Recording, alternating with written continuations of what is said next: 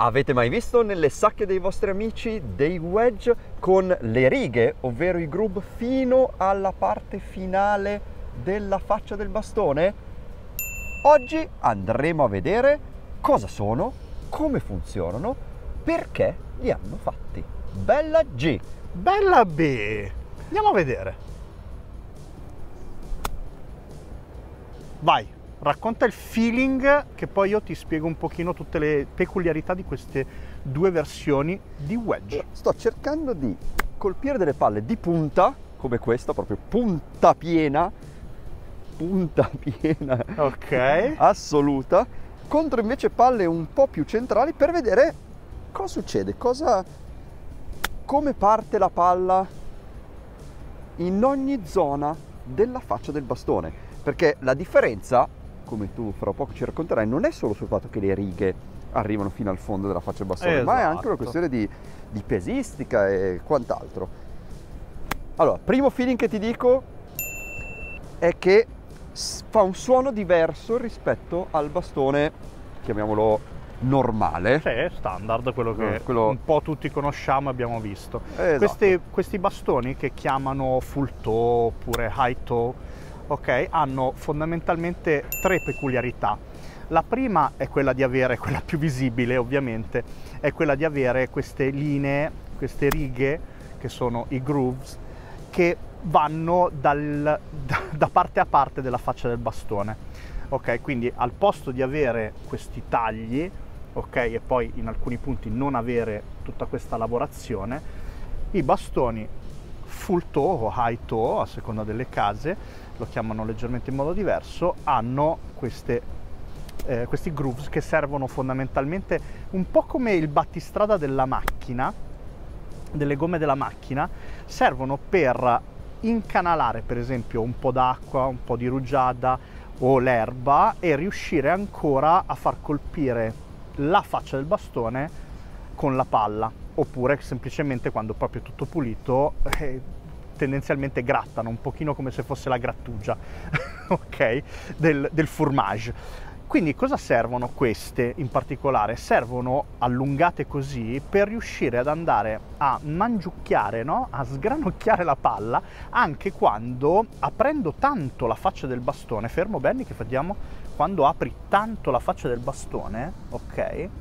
Cosa succede? Che la direttrice su cui colpirai la palla è molto più vicina alla punta rispetto al centro addirittura al tacco del bastone anche perché sicuramente aprendo così tanto tu non vuoi andare a prendere la palla la, sul tacco. la pipetta immagino vero? è la prima cosa che succede quando si apre così tanto quindi cercando di stare abbastanza lontano dalla pipetta la palla viene presa sì diciamo in zona punta. Stavo valutando adesso con questo bastone qui che in realtà non arrivo a prenderla così tanto di punta da iniziare ad azionare quelle che sono le righe, quelle più extra. estreme. Il pezzettino Infatti, extra. Guarda che si vede qua dove sto prendendo le palle. Anche mirando con la faccia molto aperta e un colpo preso di punta, vado a colpire dove finiscono le righe. Sì, sì. Chiaramente un po' di margine in più.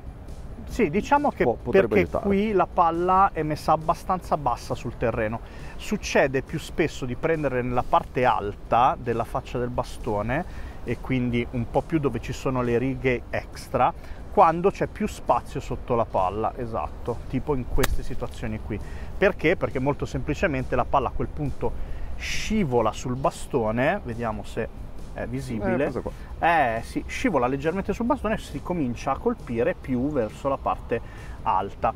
Ok, quindi che cosa fanno? Abbiamo detto, linee più lunghe, i grooves, ma ci sono tante altre cose, due in particolare. Chiaramente, avendo una conformazione fatta per aprire la faccia del bastone, tendenzialmente spostano il baricentro facendo questa parte del bastone un pochino più cicciotta, più piena. Un po' più pesante. Questo porta il baricentro dal centro leggermente più in alto e sulla punta, che è dove tendenzialmente si va a pensare che questo genere di bastone, tenuto aperto e facendolo scivolare bene sotto la palla, possa andare a colpire la palla.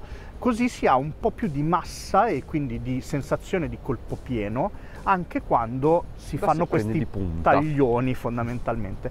E l'altra cosa fondamentale, la terza, è che la suola, nonostante Benny favorisca anche l'altra suola, eh, nonostante le suole siano praticamente eh, identiche come bounce, infatti vedete, leggete 10 e 10 di, di bounce, sono strutturate in maniera leggermente diversa, soprattutto quella del full toe o high toe per, per quanto riguarda per esempio Taylor, eh, è più scavata nella parte del tacco, quindi è più smussata, in modo tale che quando si cerca di aprire la faccia del bastone, fa il movimento di aprire la faccia del bastone, chiusa, Apriamo aperta, questa parte del bastone è quella dove tocca di più sul terreno e avendolo più smussato riesce ad abbassare comunque la lama del bastone e far sì che questa possa passare più facilmente sotto la palla su un wedge normale è fattibile perché sono studiati apposta per fare questo, però lo è un po' meno. Quindi, esatto. quindi il tipo di suola, l'abbiamo anche spiegato in un altro video, il baricentro, il punto di massa, il centro di massa e i groove leggermente più allungati verso la punta favorirebbero tendenzialmente un colpo preso più in alto e quindi con la faccia più aperta ma adesso a noi ci interessa di vedere un pochino, fare un po' di test. Soprattutto, sai, l'ultimo che faremo è quello sul colpo pieno. Bravo, se dovessimo giocarlo dritto il bastone, a questo punto avere un bastone, tra virgolette, sbilanciato, col peso un po' sulla punta, non va a creare dei problemi quando dobbiamo tirare il colpo dritto, perché se no a questo punto io mi prendo un bastone già con più loft e gioco il mio colpo dritto per dritto, un bel 64 gradi. E cosa mi interessa di aprire così tanto la lama? proviamo, facciamo un po' di test e vi facciamo sapere che cosa ne pensiamo.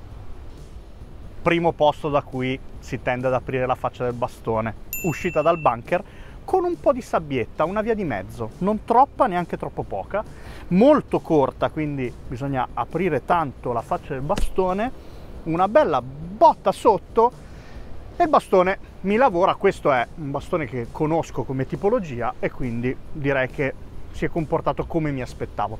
Adesso vediamo, grazie Valletta Benny. Il valletto. Il valletto. Il full toe, se sento un po' di differenza, se ha qualcosa... Uh! La differenza è che hai quasi imbucato.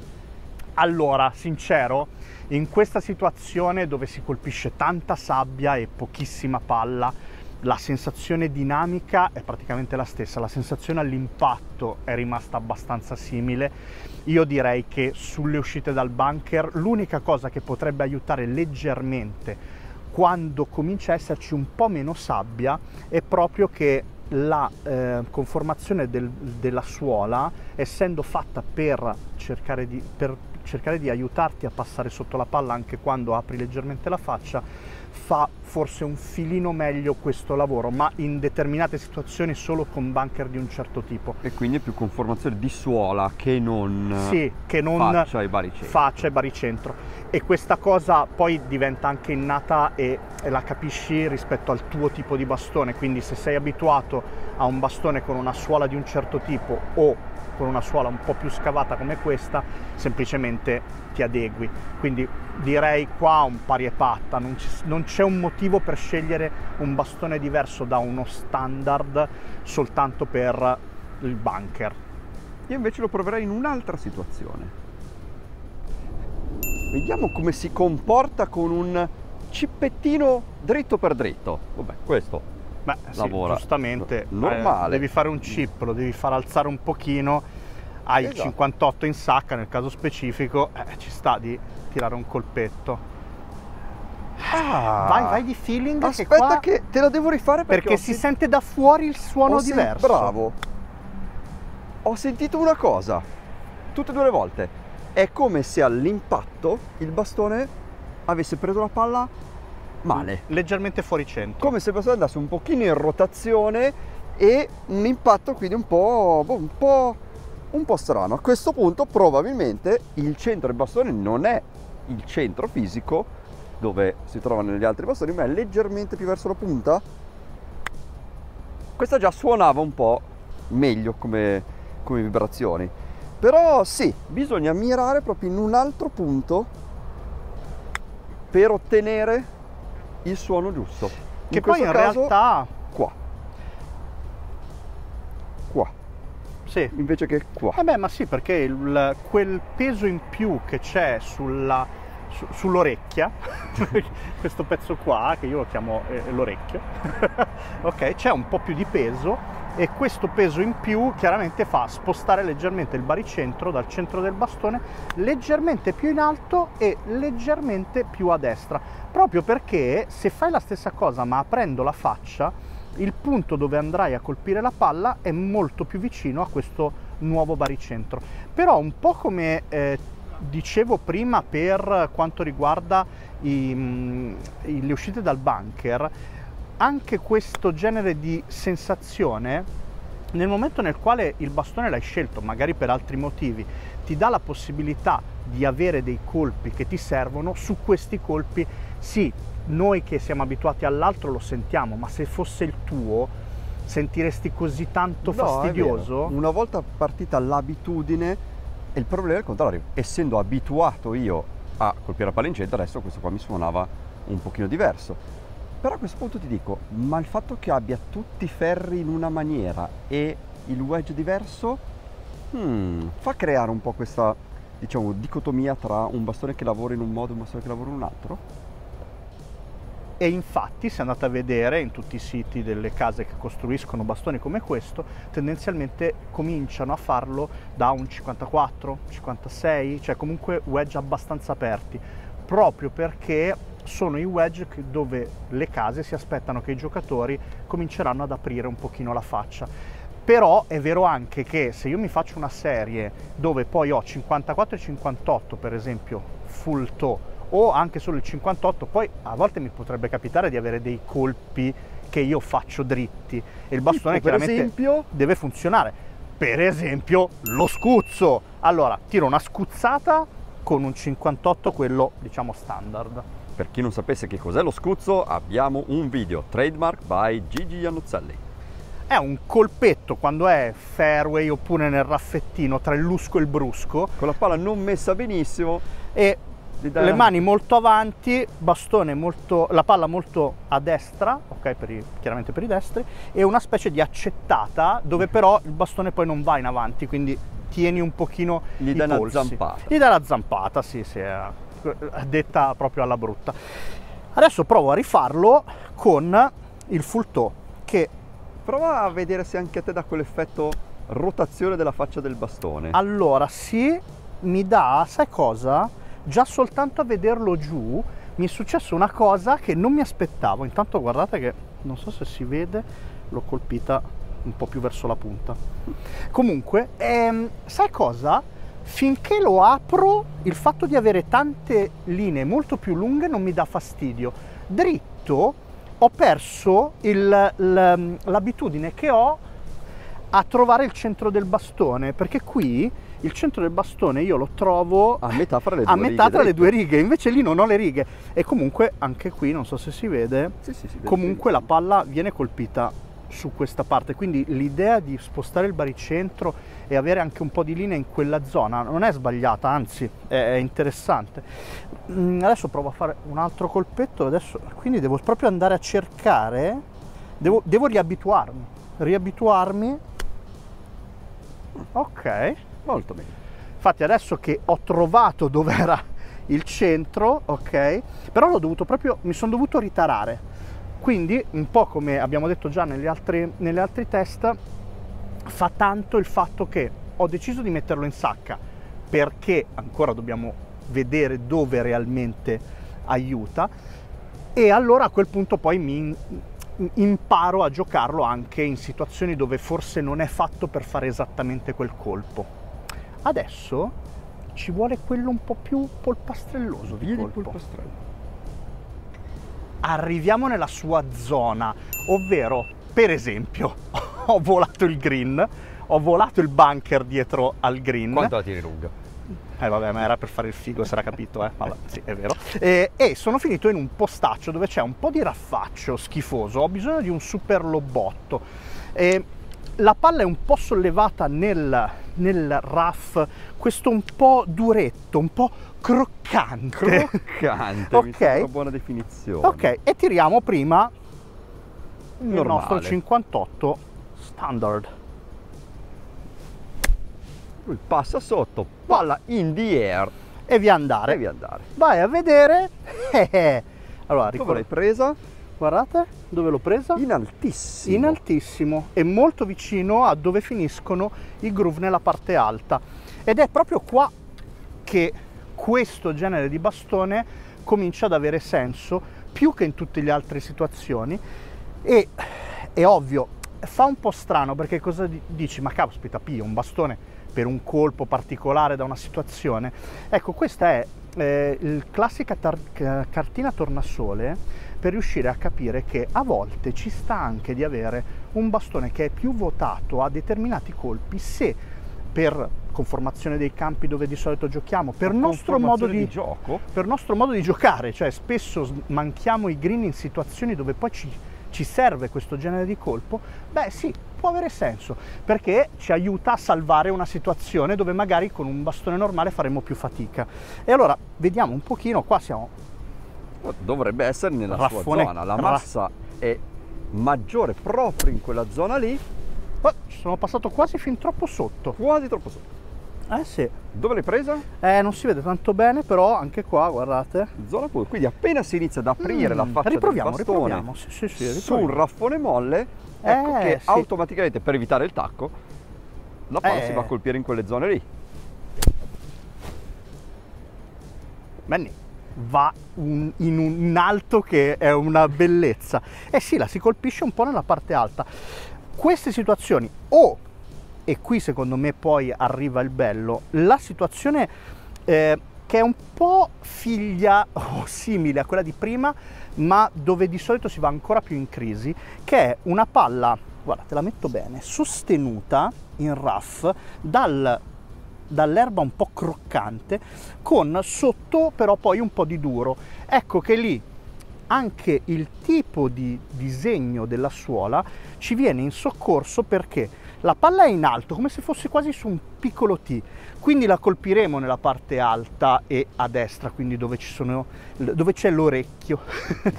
e il fatto che è più scavata non ci darà problemi, o almeno non dovrebbe,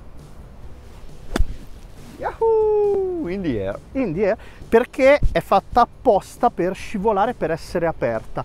Ecco, questo genere di colpi con questo bastone diventano più divertenti e anche un pochino più facili. Perché? Perché si ha lo strumento giusto per il tipo di colpo che si decide di fare e non si ha uno strumento così sbagliato o diverso dallo standard quando si cerca invece di fare un colpo un po' più normale. Però adesso voglio due o tre colpi pieni da te perché è sul colpo pieno dove secondo me c'è da capire se si può o non si può fare con questo genere di bastone. Il drittone forte pieno dall'erba. Questo lo conosciamo, parte bene. Vediamo se su un colpo pieno anche l'altro dà quel feeling di l'ho colpita fuori centro. Oppure no. Che potrebbe tornare utile un bel 58 gradi pieno, tirato forte. E il suono ancora non mi è piaciuto assolutamente. Vibrazione nelle mani altissima. Eh, perché è fatto per fare altro. E secondo me è anche una cartina tornasole del fatto che è fatto bene.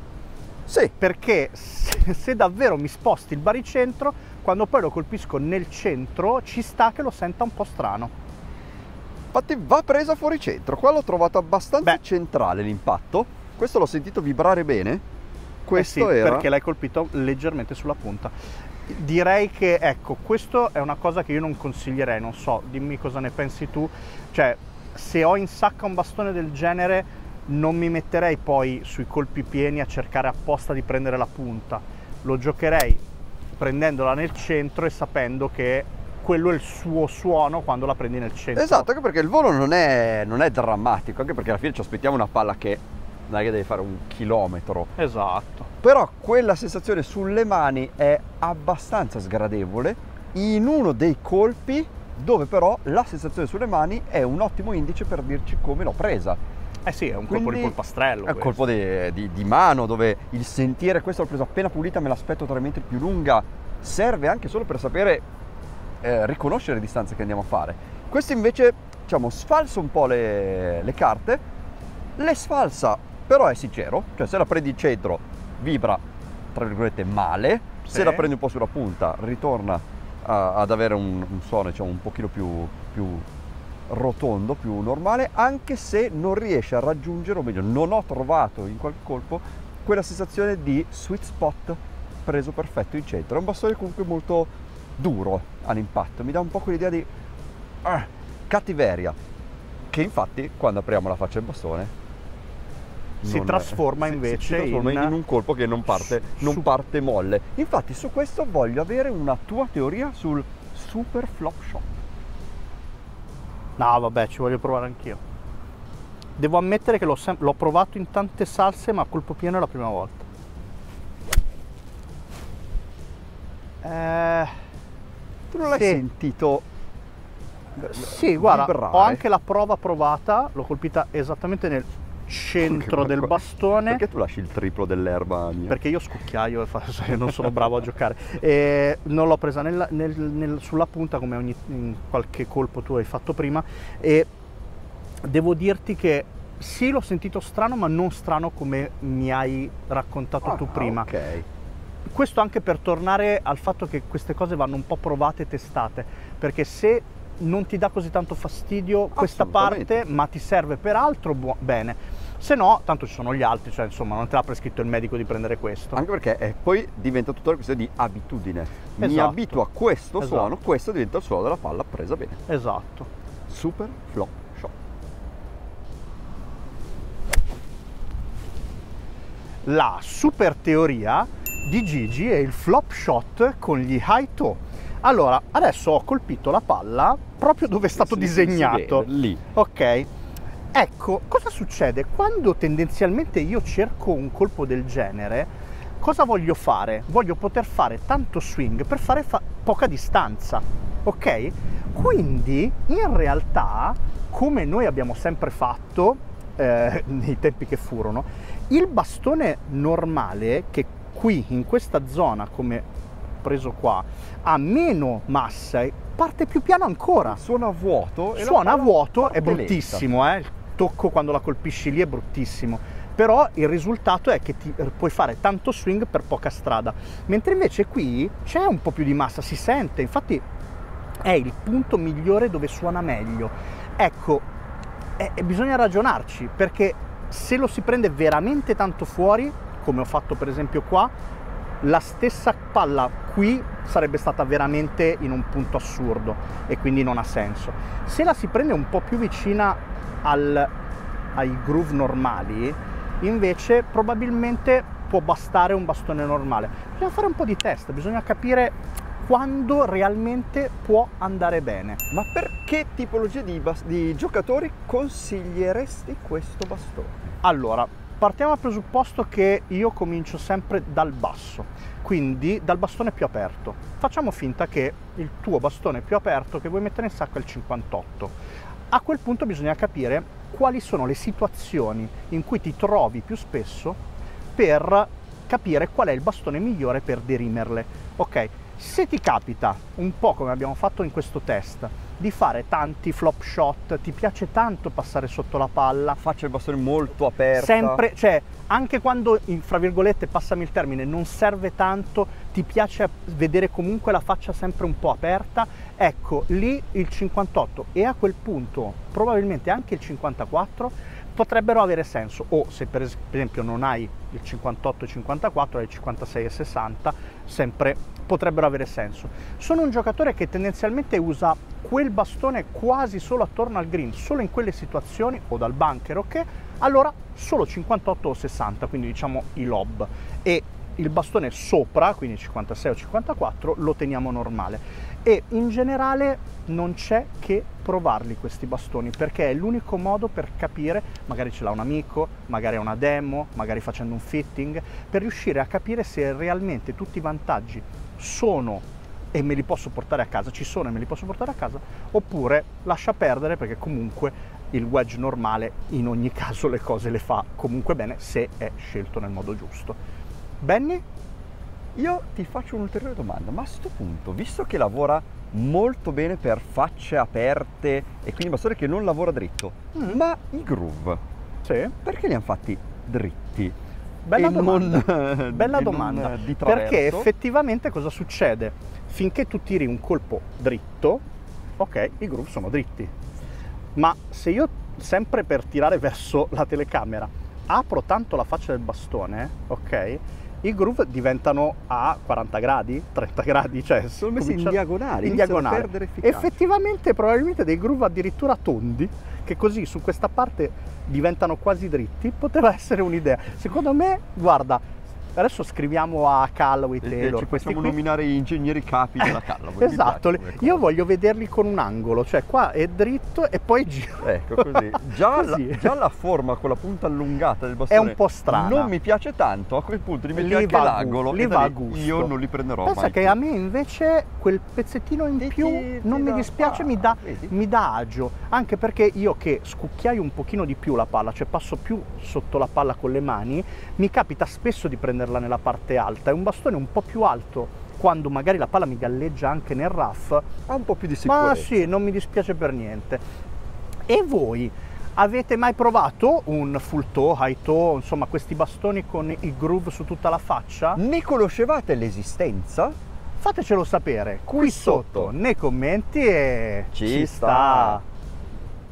B com'è? Beh, brutto. Cioè, è... è brutto. È brutto, non ti piace? Allora, un po' non sono abituato alle linee. Teoricamente dovrebbero essere qualcosa di, di bello avere le linee lungo tutta la faccia piuttosto che tagliate così, eppure è brutto. Ah, sarà che a me non piace quando allungano la punta qua, tipo i vecchi ping, ah, sì, pingai di Pinzing, bravo. Eh, quella forma lì non mi sconfifra più di tanto, ma con le righe Ancora peggio. si vede ancora di più e quindi non, so, no, non mi piace. A questo punto va falle anche sul tacco, così prende spina anche lo shank. Sì. Cioè, si sente? eh? C'è differenza. Passa l'altro? Sì.